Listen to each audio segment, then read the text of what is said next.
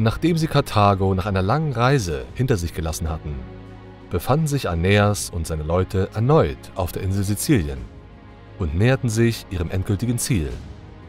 Diesmal trafen sie auf ein gastfreundliches Dorf. Dort herrschte Acestes, ein König und Sohn einer trojanischen Adligen.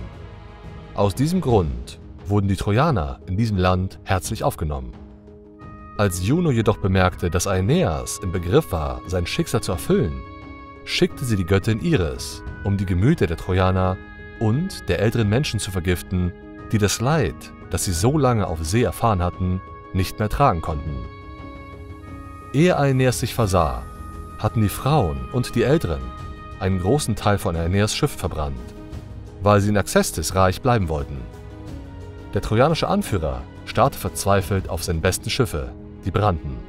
Doch Jupiter ließ nicht zu, dass die Ältesten alle Schiffe abfackelten und drohte ihnen mit Blitz und Donner.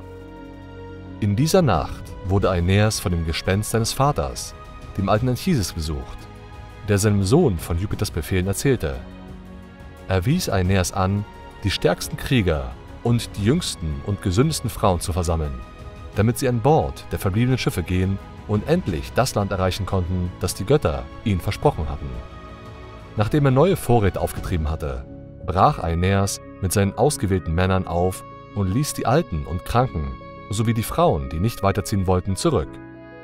Diejenigen, die blieben, fanden ein Dorf vor, das nach dem König, der sie aufgenommen hatte, Acesta genannt wurde.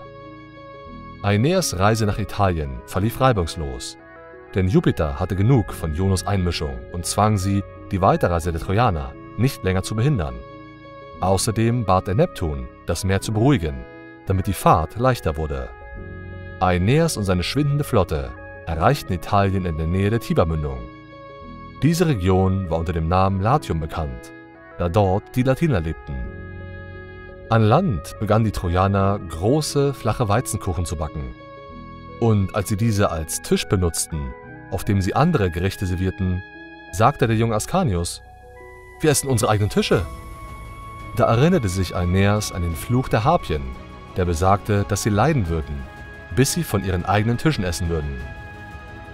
Aeneas verstand, dass dies der Ort war, an dem sich die Trojaner niederlassen würden, wie es die Götter vorhergesehen hatten.